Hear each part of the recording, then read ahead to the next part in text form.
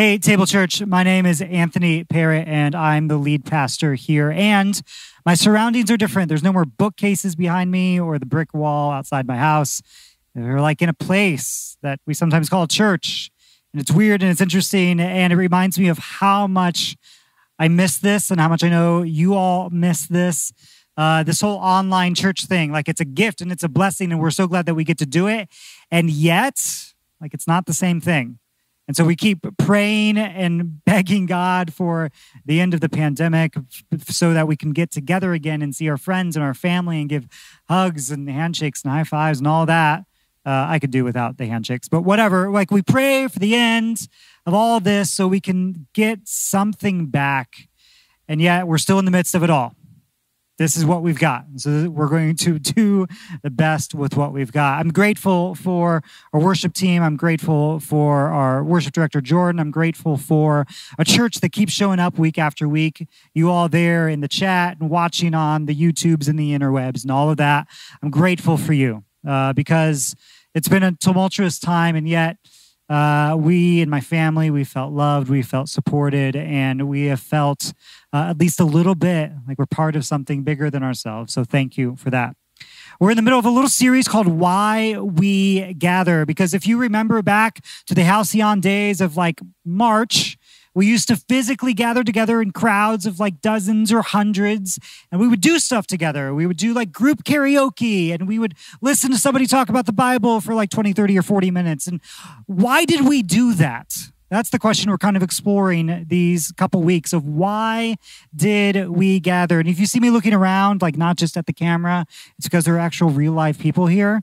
Uh, so I'm not just pretending, like it's true, there are actual people why did we get together and do these kind of bizarre things like group karaoke and submit ourselves to like a 40 minute lecture on a 2000 year old book so that's what we've been talking about. Last week, Becky did an excellent job of introducing us to this concept of proxemics. Proxemics is the sociological term of there are different spaces where we get and do different things. So if you're in a crowd, if you're in a big public space with, you know, dozens or hundreds of people, you act a certain way and you, you get a certain amount of energy out of that space.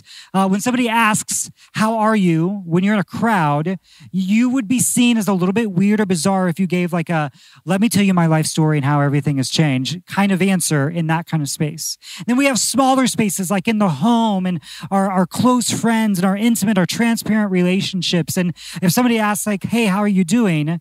You would be seen as weird if you just be like, I'm good, thanks, see ya also weird. Proxemics is the idea of like we do and we get different things in different social spaces.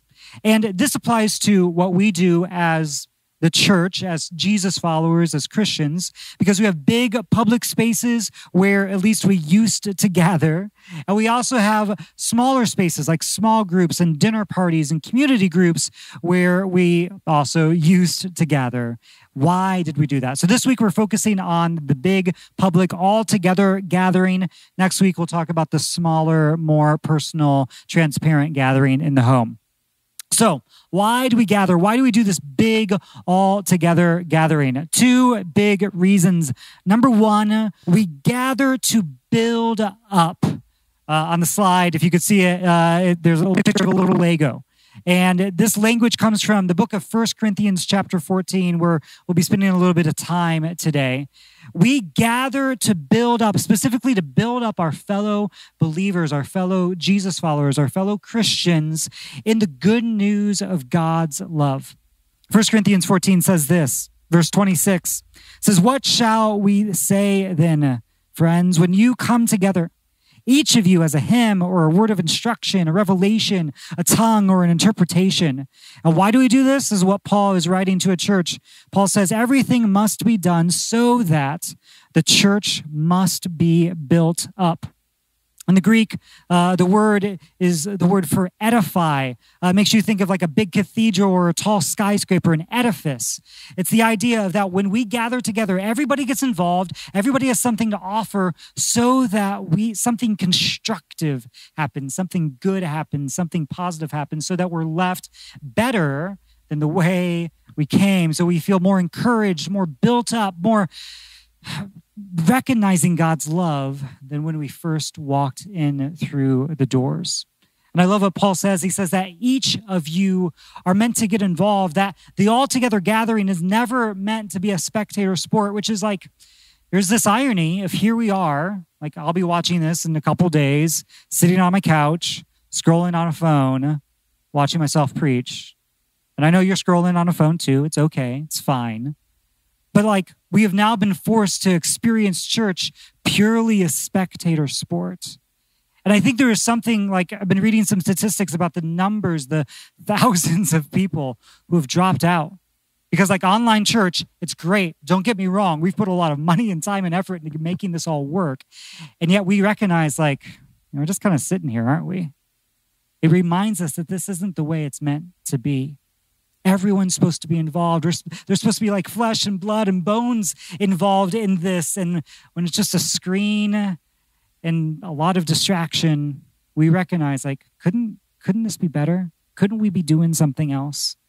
And so we're reminded of why we gathered in the first place. Now, when we gather, it's meant something's meant to happen. We recognize the presence the spirit of god in the space and in the in the space between us. We recognize that god is already up to something good. And when it, when a church gathers when a church gets together it is meant to be a place where we communicate where we preach where we talk about where we share where we encourage god's love. I love this prayer that uh, again paul writes to one of his churches. He says this in ephesians chapter 3 he says i pray that you, being rooted and established in love, may have power together with all the Lord's holy people. What kind of power? We love to talk about power. What kind of power does Paul hope we have? To grasp how wide and long and high and deep is the love of Christ. And to know this love that surpasses knowledge, that you can be filled to the measure of all the fullness of God. You can feel Paul kind of stumbling over his words because he's so excited about this idea of why do we gather? We gather so we can begin to grasp God's love. And that was the main intention of Paul's ministry, was the main intention of Jesus' ministry. John chapter 3 says that the, the Son of God did not come into the world to condemn the world, but rather to show that God loved the world, that Jesus gave himself to show the world that. So we can say that if you come to one of our church gatherings, or if you're experiencing this online, if you come to one of these and you are not leaving more rooted and established in love, we're doing it wrong. And if you go to any church, any gathering of Christians, and you don't find yourself more rooted and established in love, they're doing it wrong. And I don't mean like a flimsy Hallmark movie kind of love. Hallmark movies are fine. We watch a bunch of them in December. It's fine. But like, listen to these words rooted and established. This is like sturdy, like drop your anchor, rough and tumble love. Love that gets into shenanigans for the sake of like fighting against injustice and evil and wrong. Love that stands up for what's right. Love that sticks by somebody in the toughest times of their life. It's that kind of love that we want to be built up and rooted and established in. And so that's why we gather. That's why Paul says in First Corinthians, when you get together, each of you has something to share so that we can know something true about God. So, number one, we gather to build up, to build up our fellow believers, our fellow Christians. And the second reason we gather is that we want to point everyone towards God's love, presence, and goodness. We want to point everyone, even those who don't yet believe, even those who are maybe are seeking God, seeking some sort of divine presence, but they're not so sure about this whole Jesus thing. We still want to point them to God's goodness and God's love. Now, in the early church, there were clearly those that were gathering because they already did believe. They already had put their faith in the story of Jesus and the good news, the gospel of Jesus. And there were those who would show up on a Sunday gathering, somewhere in a home or like in a courtyard or in a public space. They would show up too, and they were seeking God, but they weren't so sure about this whole story about Jesus, who was God in the flesh, and he died on a cross and he was resurrected. They weren't so sure about the whole thing yet. And they were so compelled by the kind of communities that Christians were building communities of inclusion, communities of belonging, communities of fellowship and sharing. Those people who were still seeking, who weren't so sure, they would show up too because they wanted to find out more. And so, Paul and the church planners in that first century, they expected these gatherings to be helpful, not just to those who already believed, but to those who didn't yet believe. They expected those gatherings to have meaning and purpose for those who weren't so sure about this whole Jesus thing yet. This is what 1 Corinthians 14, uh, verse 23 and 24 says. It says, So, the whole church comes together and everyone speaks in tongues, which we can get in a whole big long discussion about what speaking in tongues means. But basically, take it, take it as this if everybody starts speaking in a language you can't understand, and then inquirers, seekers, unbelievers come in, won't they just say you're out of your ever loving mind? Paul goes on. He may not have said the ever loving part. That was me. But anyway, he goes on. He says, But if an unbeliever or an inquirer comes in, well, everybody is prophesying, telling the truth, telling the, the, the reality of what God is like and what God is up to in the world. If a seeker comes in while that's happening, they are going to be convicted of their sin and brought under judgment. And then they will fall down and say, God is surely in this place. That's what the early church, that's what the church planters saw happening when non believers came to church, showed up on a Sunday, that they would see, oh my God, God is here. Holy cow, there is something holy present. Oh my goodness, what is happening? That was the expectation. So we gather to build up and we gather to point towards God's presence and we exclude no one. And so, again, if someone comes, if a God seeker walks in to one of these gatherings and then walks away from one of these gatherings without a greater sense of God's love, we're doing it wrong. Now, I'm not trying to sugarcoat what scripture just said in the verses that we just read you'll note that it says that God seekers are going to feel convicted, that they're going to feel that their secrets are laid bare. But remember, this is not wishy washy love. This is a love that has consequences, a love that when it sees impression, uh, oppression and injustice and harm and evil and wrong, it's a love that says, not here you won't. If a belief in God's love never leads to a sense of conviction, then we owe it to ourselves to ask, well, what kind of love is this? Now, listen, listen. The work of conviction comes solely from the Holy Spirit. It is not my job, it is not your job to make someone else feel convicted, guilty of their sin. That is something that only God's Spirit working inside of someone can do. It's not us.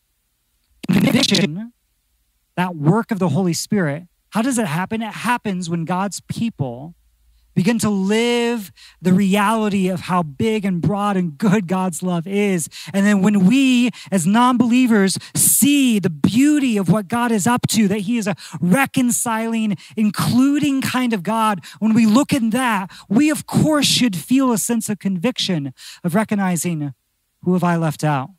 Who have I put to shame? Who have I said no, thank you to? I don't want to know you. I don't want to have anything to do with you that should bring us a sense of conviction. Again, it's not my job, it's not your job. Our job is to testify, to give testimony to, to speak to what God is up to, the good things that God is doing. We gather for these two reasons. We gather to build and we gather to point. We gather to build up those who already believe. We, we gather to point to God's presence, God's action to those who don't yet believe. And then there are four ways. If you're taking notes, you can put down four, four little bullet points. Four ways that we typically do that in a gathering, in a church gathering. And we're actually going to dive deeper into every single one of these next month in a, in a separate series, but I want to talk about them to tonight, this morning, whatever time, what time is an illusion. I want to talk about them right now, just for a little bit. Number one, we do this through baptism. Now, baptism, it's something that doesn't typically happen on like a weekly basis, at least in this church and, and in most churches. But baptism was one of these like core foundational things that happens when someone says, there is something bigger than me going on here. And I want there to be some sort of physical representation of what God has done in my life. And baptism is a way, it's a way of symbolizing when we go down into the water that we are dead to our sin, to the things that like hold us back, to the things that are holding us down, to the things that are tying us down to the ways we used to be. That's what baptism represents a death to that. And then we were raised out of the water. It represents our resurrection, a new life that, like, our eternal eternity starts today. And baptism is also a way of saying, I'm part of a new family. Jesus himself used this language again in John chapter 3, the idea of being born again, being born of the water and of the Spirit. And so when we are baptized, it's saying, I have been born into a new family. What sociologists call a fictive kinship relationship, which is a really nerdy way of saying, like, you all, we're in this together now. Ephesians 1 says this Long before God laid down earth's foundation, God had us in mind, had settled on us as the focus of his love to be made whole and holy by God's love. Long, long ago, God decided to adopt us into God's family through Jesus Christ. So when we gather as a church, sometimes we baptize people because we want to be part of a new family. We want to recognize that we are dead to our former way of life when we are alive to the way of life that's only possible through Jesus. Number two, we celebrate something called Eucharist, which we're going to do in a little bit. You might call it communion, the Lord's table, the Lord's supper. Eucharist, it's a Greek word, Eucharisto. It means to give thanks, that we recognize that God's goodness is so darn good that we want to give thanks for it. And so we have this invitation to dine with the divine, to meet with God, God's self at a table, and to eat good food with our new family. We'll talk more about that in just a little bit. The third thing we do when we gather is we immerse ourselves in God's word, the Bible, scripture. It's what we're talking about right now. It's why we have sermons or messages or what talks or whatever your tradition has called them. But we we we we look at this story and the story of stories of people throughout the ages who've experienced the divine presence and their lives have changed because of it. And I'll tell you what, some of the stories are messed up. Some of those people met with God and they misheard and they did some wacky things. Some of those people, they were really, really, really young in their faith and they they screwed up big time. And some of those stories, they are beautiful and revelatory and they tell us something true about what God is like. And when we immerse ourselves in scripture, we're saying that We've been written into that story, into a shared story. We're baptized, we're brought into a new family. We take Eucharist, communion, and we are now meeting at a big, wide open table. And now with scripture, we are being written into God's story. New Testament scholar N.T. Wright uh, uses the analogy of how scripture is like a, a Shakespearean play. And most Shakespearean plays had five acts. And scripture, the Bible, Genesis through Revelation, is the first four acts. And now our job, you and me, our job is to improvise Act five. To see everything that's happened before and say, okay, if that's how God acts with his people, and that's how the best of God's people behave, then how are we going to move into the future knowing what we know about Jesus and about God? And so God's not done with us yet. The story's not over. And that's why we look at scripture, not so that we can just be beholden to the past, but so that we can move into the future knowing that God has good things in store and that we are part of a shared story of centuries and generations of fellow believers, fellow God-fearers, fellow people who are being saved by God's divine favor and mercy and grace. And the fourth thing that we do when we gather is we pray.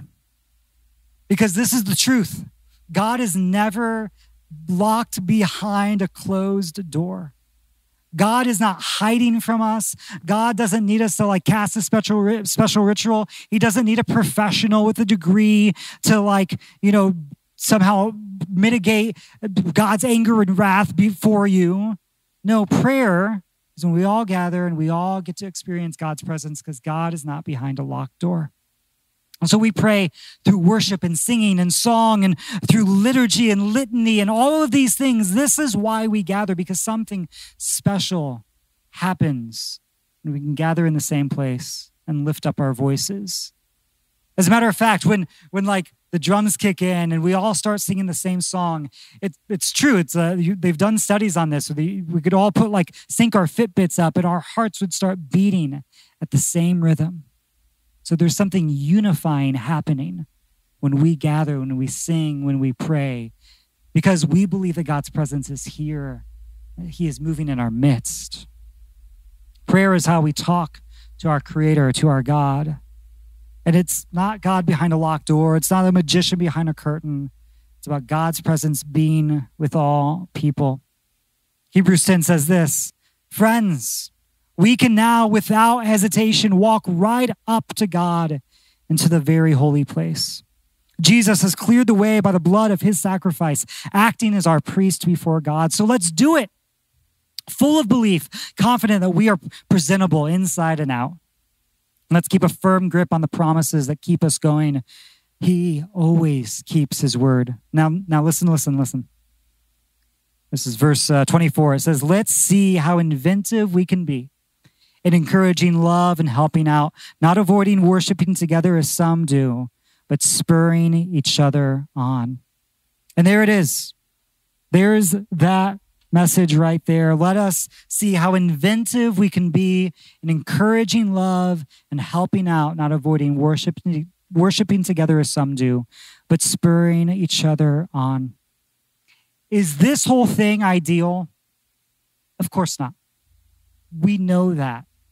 We feel that. Some of us, we're blessed and encouraged because we've been able to connect with our church in ways that we never have before. I know that some of you are watching from across many, many state lines or international lines. We praise God for the blessing of that, but we also recognize like this is not the way it's meant to be.